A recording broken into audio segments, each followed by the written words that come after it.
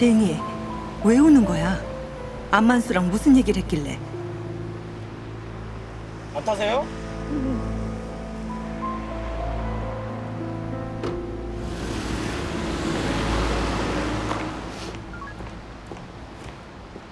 은석 씨, 저 거의 다 왔어요. 어서 와요. 네.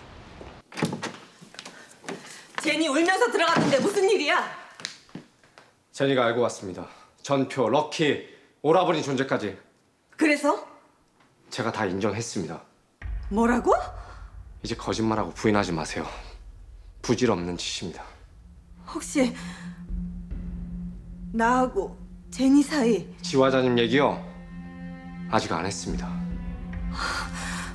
부탁이네. 절대 그것만은 그것만은 얘기 말아줘. 그것도 시간 문제입니다. 모르시겠어요? 내가 제니한텐 직접 말할게. 아직 준비가 안 돼서 그러네 안 사장. 대표님한테 시간이 없다고요. 이제 무슨 일이 닥칠지 마음의 준비 다 하세요. 제니, 내가 흑장미인 거 알면 오은석이랑 못 살아. 자기가 먼저 헤어지려고 나설 거야. 그렇게 되면 제니 데리고 뜰 거네. 그때까지만 기다려줘. 지화자님은 목류병까지 걸려서 제니 찾느라 혼자 속이 타들어가고 있어요. 시간을 끌수록 제니한테 받을 원망만 커집니다.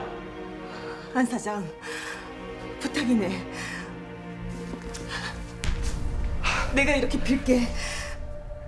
제발 그것만은 내 입으로 때를 봐서 밝힐 수 있게 부탁이야. 제니가 내 딸이 아니라는 말만은 자네 입에서 나오지 않는 난 귀신도 모르는 일 아닌가? 한 사장 부탁이네. 어?